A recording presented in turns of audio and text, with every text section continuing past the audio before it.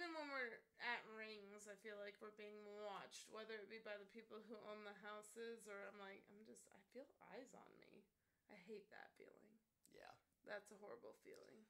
Yeah, I, I've had that before where I feel like I'm oh, being yeah. watched, but that's usually because I am being watched.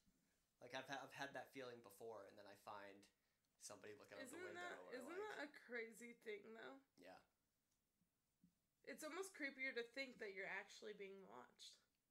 Yeah, Because I think it's creepier because like what happens when you like feel that and you don't see someone watching you?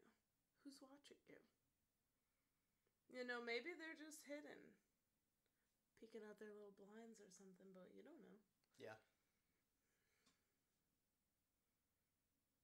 Yeah, that's a that's a strange feeling. It is. It's uneasy. I've definitely had the times where like I've had like uh, little kids the for I was babysitting and whatnot, and I was sleeping, and of course kids always wake up at the ass crack of dawn, and they came into my room and were just staring at me, not to wake me up, but I woke up hmm. to kids stared at me like, oh. You guys hungry? You guys need breakfast or something? Wasn't even that late. They were just up. They didn't know what to do with themselves. Funny. or like the sleepovers I'd have is with friends. There was always that one girl who would wake up first and then just stare at you. And I'm like, and you'd wake up and it's it's alarming to wake up to someone who is wide eyed staring at you because you're like still coming to. Just like hey, Oh, good, you're up. I've been waiting. I've been waiting. Yeah, yeah, it's freaky. It's freaky shit. Yeah, that is a freaky one. trying to think of other like freaky. Boys don't do that shit. No. I have like when you were growing up though, like I remember being at sleepovers and then being the first one awake. But it's like not your house, so you can't like get up and go like hang out with their parents or anything. You just kind of like lay there and you wait for everybody else to wake up. Yeah, that's Yeah. different. You don't just go and stare at someone. Yeah. But that's always awkward being the first one awake at like a slumber party and you just have to wait. It is, yeah, definitely is. Except, I mean, I guess when I was that little and having sleepovers, I usually knew the parents well enough too. Yeah. Like it was their home was my home. I guess the only exception was like no, because my parent like my parents were I, I don't want to say not trusting, but they were very cautious of where we slept over. And I don't really remember because my friend group was my friend group and they didn't really I got along with everyone, but I wasn't like invited to a lot of things outside of my friend group and I knew their parents and I, my mom had a funny uh, paper from like first or second grade and it's one of the questions was if you could live anywhere where would you live? And my answer was B Avenue. That's where all my friends live. Like I think people expect you to say like Hawaii or Ireland or like a place that's like a vacation spot. Nope I said B Avenue. Yeah, I remember me and my when I was real little, probably like fourth grade, when I started having like sleepovers at my friend's house. I had these this like one group of friends where we would we would never sleep at our slumber parties. Like we were we were like we would camp out in a tent in my friend's backyard and we would stay up all night until the sun came up. And we thought we were like the coolest kids. And then the Yeah, following day we were just dead. Yeah. Like we were ten years old who didn't sleep at all that night, so we're just zombies the next Yeah. day, and it would ruin the whole next day. It but we did it every time.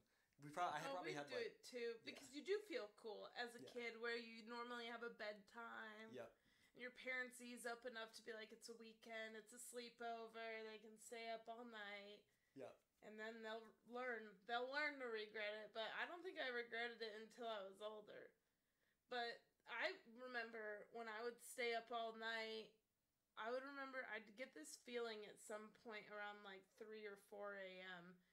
where my gut would just start to hurt. And I'm like, it can't be healthy for me that I'm not sleeping. Oh, because I wasn't like hungry, but I'd get like nauseous from not sleeping. It's crazy. Oh yeah, when I was in um, years later, as an adult, when I went to like the field medic Mhm. training school for the Navy, like we we did like a field week where they kept us up for a really long time, and after about forty eight hours, I started like vividly hallucinating, Oh yeah. and that and to today, the most vivid hallucinations I've ever had have been from sleep deprivation. Not, Yeah. not even drugs. Sleep depriva- sleep deprivation have given me the most vivid hallucinations I've ever seen. Jeez. But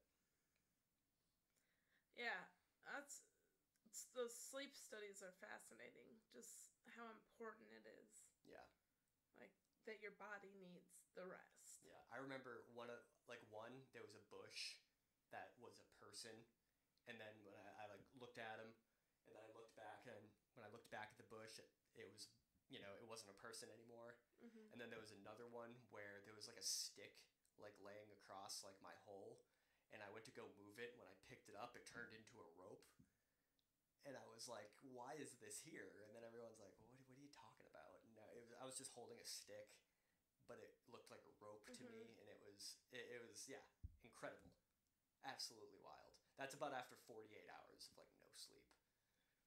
Yeah, I, I- uh, my does SERE School keep you up? Yeah. Because I remember my friend saying that they had hallucinations even after they got done with it. Yeah. Like their next week after, it took them like a full week to recover from that training. you know it makes me it makes me wonder too what that did to my body like being awake for that long because i feel like i feel like that's insanely unhealthy for you Oh yeah, i feel like they're not like i feel like everybody just in general is not very honest with the with the toll sleep deprivation takes on your body not just Mhm. mentally but like physiologically no, I don't think eight hours is necessary. I do think some people function fi- fine on five to six, and like that's all they need. yeah If I get eight hours of sleep, I almost feel like I overslept. You need like ten hours just to be happy yeah the next yeah day. 10 honestly yeah 10, 10 hours is like honestly 9 hours is my like sweet spot 8 hours i still wake up kind of groggy Mhm. it's tough for me to get up 10 hours anything at past 10 i, I wake up feeling a little like Yeah. sore but 9 hours is like the sweet spot. Like i'll, I'll get up i'll feel super rested yeah, super you might just need those extra hours from that deprivation you got. that, i wonder that because mornings fucking crush me now. Like it doesn't matter how much sleep i get. Like in the morning me waking up out of sleep my body betrays me for the first like 30 minutes of the day like i am oh, just oh, I know better than to start a conversation with you in the morning. But I am curious about that though too. Is like I wonder if that is like a repercussion. Like, like I wonder if it gives you like brain damage or something when you stay awake that long. And I don't know, because I know my dad has had his fair share of sleep deprivation, but he doesn't need a full eight hours either. yeah, like I don't need a full. You know, I can I can function Yeah. off of. Yeah. I can function off four or five hours, but if it's up to me and like what makes me feel the best, it's about eight to nine hours. You know what? My my dad does do his regular two o'clock nap. Yeah, So that is true. That could add to it too. That could count towards your sleep. But I do better with like five to six hours of sleep and then nap somewhere in the day. I am right next to Mhm. it. You have the comfy chair. I know. I'm just saying. Just remember. I am remembering. I just wanted to lean back because you always get the nice chair. well, then we can switch next time. No, because then you'll say mean things and hit me again. I would never. I would never do that. It's my favorite things to say. Not in public, of course. Yeah. Yeah, sleep. Sleep is definitely a weird thing. It's it's fascinating too. Like we, I think we talked about. Yeah, we talked about dreams a lot the last time, so we won't we won't go too far into that. But that's just it's so weird what that is. Mm-hmm. Like why you have these images. And I guess it goes back to what we were saying earlier. Like your brain is a powerful thing. Right,